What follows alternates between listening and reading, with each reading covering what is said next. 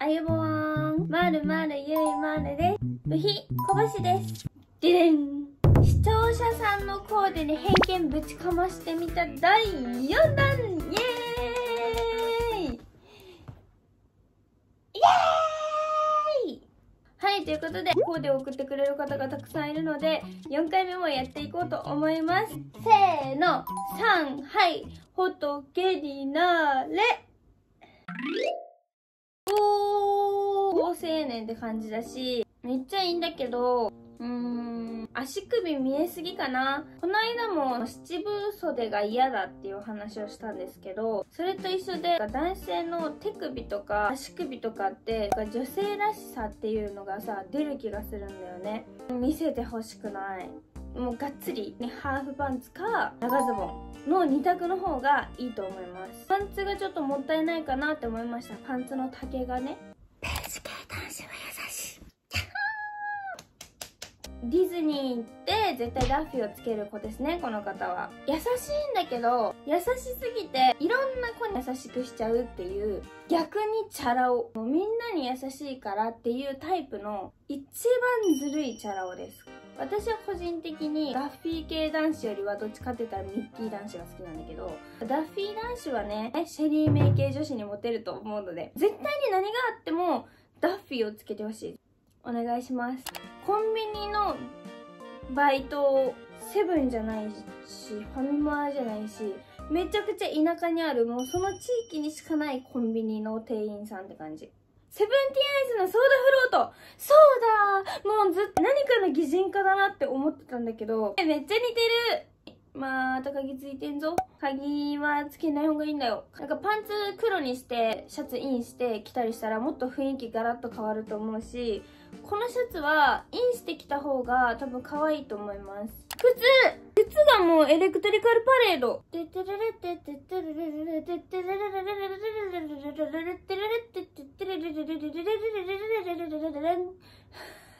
これ、これめっちゃ滑舌。このパンツを履きこなせたらもうプロだと思いますよ。TikTok とかにいそうな若者っていう感じかな。若い女の子たちからはすごいモテるファッションだと思います。大人っぽいお姉さん系からの受けはちょっと微妙なのかな。シャボン玉してんの？シャボン玉してんの？もうデート毎日公園そう。もう虫に優しそう。もう虫見つけたら、キャー虫だ怖いね早く、早く取って、早く取って、早く、早く。ちょっと待って。虫だって生き物だから。とか言いそう。白 T にジーパンっていうもう最高な組み合わせなんですよね。なんだけど、シャツを前だけ入れて後ろだけ出すっていうのをしてる男の子がちょっと嫌。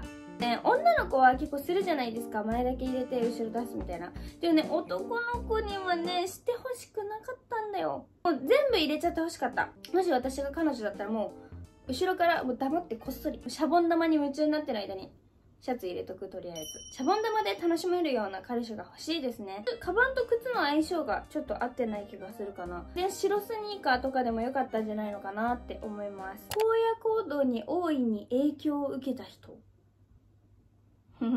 カフェデートとかに行く時にこの服装はちょっと嫌。サバイバルデートって感じじゃん。マスクも色合わせてきてんじゃん。やるな。とデート服としてはちょっとなしかな。まあポケットまず多すぎるしね。1ポケ2ポケ3ポケ4ポケ。ちょっとサバイバルすぎるかな。映るんです。映るんです。映るんですを持ってる時点で神。うちのの車と靴が同じくらいテカテカ。縁もタックイン男子。女の子の中で。神的なものになってきてると思うんだよね。空音のハグとかめっちゃ聞いてそうじゃない？ただラブが溢れるよ今夜。とか言ってそうだもんねもう。プレイリストの中に空音のハグが入っていたら教えてください。絶対入ってる。入ってることに1票。で足首グイーンってなってるけど大丈夫？フィラちょっとねフィラはバーンと見せてほしくないかな。田舎系男子。車の芳香剤がピンクのあの葉っぱ。あれでしょ。車でかける音楽めちゃくちゃうるさくて信号待ちで絶対ドゥンドゥンドゥンドゥンドゥンドゥンドゥンってなるタイプ。誰かパルコ来て。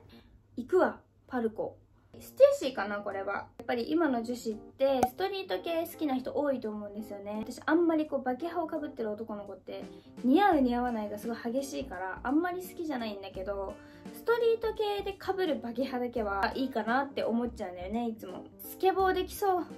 できる？できる。ストリート系男子が好きな女の子はイチコロですね。何着てっかわかんねえ。部屋が暗すぎるんか逆光なんかなんかわかんねえんだけど、うーん、何着てっかわかんねえ。伝わってこね。今回もね、たくさん送ってくれてありがとうございました。それでは、今日もね、ファッション専門家の小星さんの方にお話を聞きたいと思います。すいません。寝てるところ失礼いたします。おはようございます。いいですか？すいません。起きたばっかり申し訳ないんですけど今日見た中でですねどれが一番お気に入りですか？うんうんうん。うんうん。あはいかしこまりました。今日のこぶし賞はドゥルルルルルルル何着てっかわかんねめでとうございます何着てっかわかんねえけどなんか多分こぼちゃんは気に入ったみたいですこの後も引き続きコーデを募集しようと思っているので、私のインスタグラムかツイッターの DM にコーデ写真の方を送ってください。よろしくお願いします。今日も見てくれてありがとうございました。バイバーイ。またにょーん。忍者飯